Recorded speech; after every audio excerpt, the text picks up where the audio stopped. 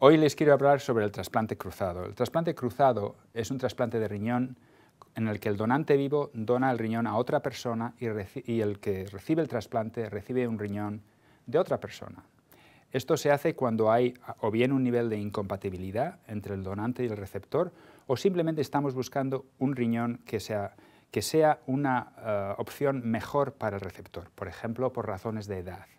El trasplante cruzado en la clínica Mayo se ha convertido en una cosa que hacemos muy frecuentemente.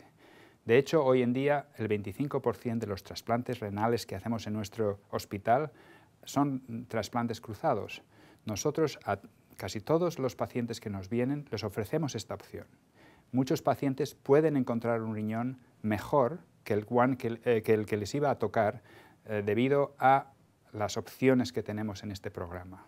También hoy en día estamos enviando riñones de donantes vivos a otras instituciones, recibiendo riñones, por ejemplo, con nuestros compañeros de la Clínica Mayo en Florida y en Arizona.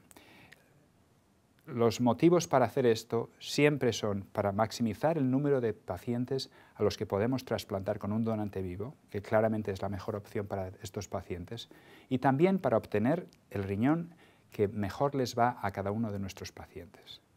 El trasplante cruzado nos permite el poder trasplantar a más pacientes y nos permite poder ajustar la calidad y las características del riñón de donante a cada receptor.